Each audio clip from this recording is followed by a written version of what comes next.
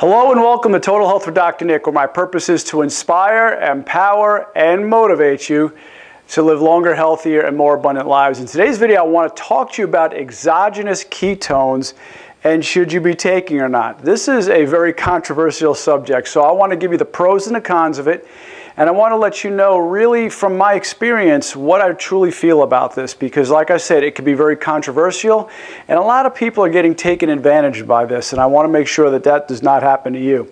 So, before we get started, I want to give a shout out to one of our keto rock stars because I love celebrating you guys. You guys are just crushing it. You're killing it out there. And I really, really want to make sure that we give you some recognition for that. So, anyway, this one comes from Thomas Hall. Thomas, you are rocking it, my brother. I have a testimonial for you. About a year ago, I was 520 pounds. I started the research in the keto diet. A friend of mine told me all about it. I, like many people, have tried everything, including a failed lap band surgery. I gave keto lifestyle everything I had. I lost 80 pounds in two months. That's almost a whole person, by the way, Thomas, so great job.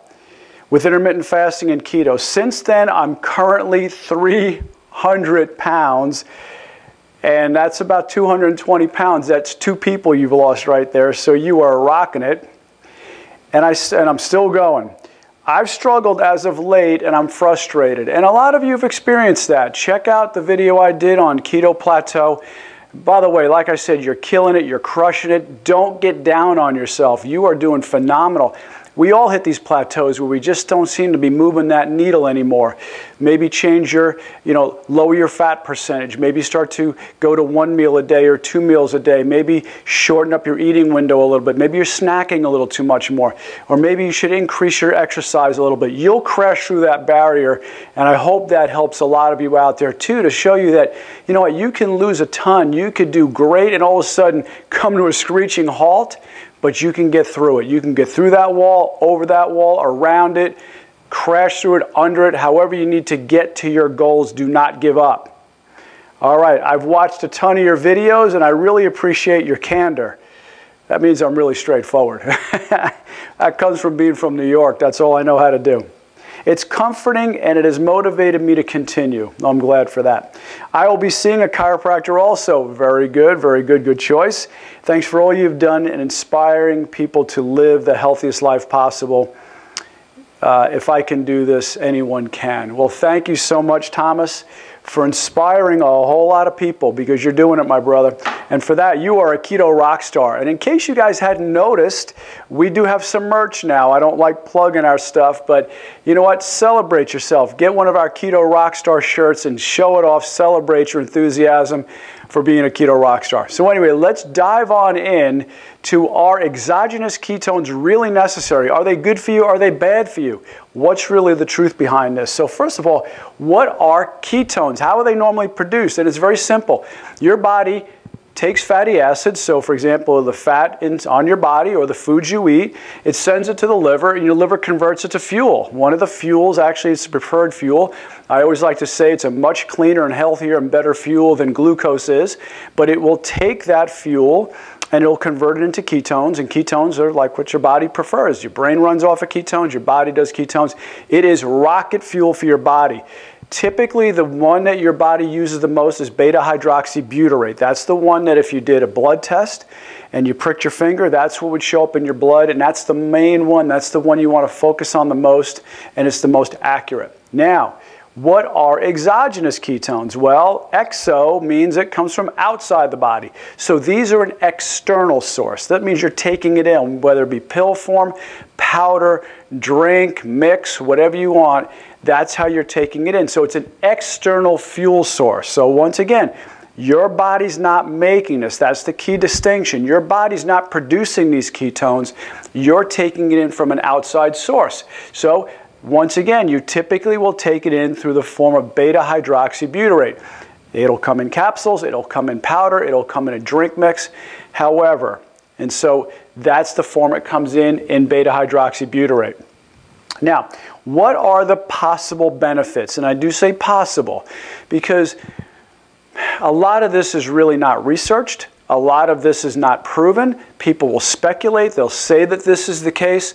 And so I just want you to let you know that I've not experienced a lot of these things, so this is what I've read, this is what I've heard, this is what I've seen. So, carb-free fuel source. Well, that's obvious. I'll, I'll, give it that. It is a carb-free fuel source. Once again, it is rocket fuel. Beta-hydroxybutyrate is a very, very powerful energy source for the body.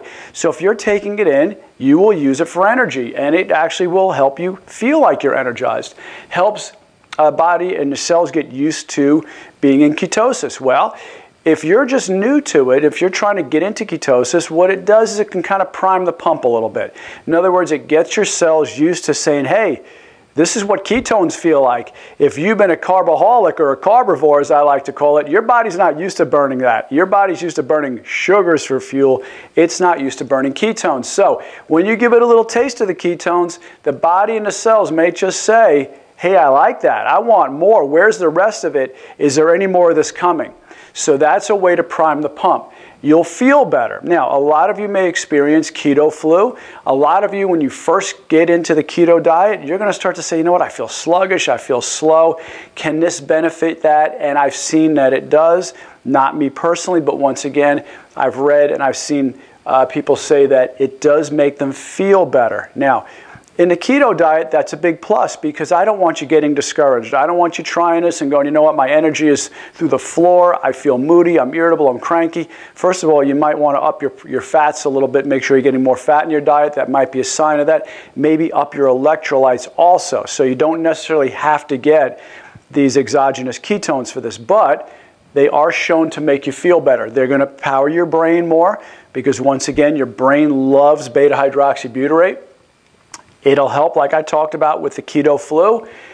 Now, epilepsy, can it help with that? Possibly, yeah, because the keto diet really was all about that when it was first formed, or at least the name the keto diet back in the 1920s when it helped children because their brains worked better off of ketones rather than glucose. They had less seizures when they were on the ketogenic, higher fat, low carb diet. So, can it help with epilepsy? Possible. Okay, once again, possible. Just the simple fact you're taking in ketones are good for epileptic patients, but whether exogenous ketones can help with that, I don't know. But it's a possibility. Helps kickstart ketosis, like I said, gives your, your body a little bit of that taste of what ketones are like, and it reduces hunger. It has been shown to do that, so if that helps you out in the beginning, then maybe it's okay. However, one thing I find that I didn't put it up here, one thing you'll notice is that anytime you start to get a new diet out or a diet that, once again, the keto's been proven, the keto diet's been around for a really long time. Before it was the keto diet, it was just the way our ancestors ate. But once you get a diet out that starts to trend, you're going to start to see people coming out of the woodwork wanting to make money off of it. And that's really what it comes down to. You're going to see a lot of people pushing exogenous ketones who are part of network marketing groups or MLMs I'm not saying they're all bad, but what I am saying is you have to be careful because all of a sudden everybody's going to come out with an exogenous ketone and try to sell it to you, and they are expensive. They can get very, very pricey. Okay? So that's what you want to watch out for also. Now, what are the problems with this? Well, there are problems. One, let's get something really, really straight. Okay, Thomas, you said I'm all about candor. I'm about to get candor. You're not necessarily in ketosis not you, but I mean when you're taking exogenous ketones, that doesn't mean you're in ketosis. You want to be in ketosis. You want all the benefits of ketosis. I did a video on the 12 health benefits of being in ketosis, and it was fantastic. You're talking everything from Alzheimer's, epilepsy, helping people with metabolic disorders like heart disease, cancer, diabetes, insulin resistance, reducing inflammation, weight loss, regulating your metabolic hormones, getting your hormones better. I mean, the list goes on and on. You want to be in ketosis. Just because you take in an external source, as far as a pill or a potion or some type of mix or a powder, whatever it may be, and you then measure your ketones and you go, oh, look, I'm in ketosis. No, you're not. Not necessarily. You're now measuring the ketones you just ate. So if they show up and they go into your blood and all of a sudden your blood is teeming with ketones and you go, oh, let me just prick my finger and test it. Oh, look, the meter says I have, I'm in ketosis. No, not necessarily. You might not be in ketosis at all. In fact, a lot of people will say who, who promote these exogenous ketones is you don't have to change your diet very much. You're going to get into ketosis. You can eat carbs, a lot of carbs, and you'll get back into ketosis. Just because you're measuring ketones doesn't once again mean you're in ketosis. You want the benefits of being in ketosis. And the benefits come from the fact that your liver is making the ketones, not that you took it in from some pill capsule, or drink mix, okay? Your liver is making the ketones. That means your body has become fat adapted. That means you've made the switch. That means you're ketone adapted. That's what you want. You want to get to where your body's burning fat for a preferred fuel source rather than sugars, okay? That's being candor, okay? Now, you're not necessarily healthier. Just because, once again, you have ketones floating through your body doesn't mean you've improved your hormonal balance. It doesn't mean you have uh, re reduced inflammation. It doesn't mean you're less insulin resistant and more insulin sensitive. It doesn't mean any of that.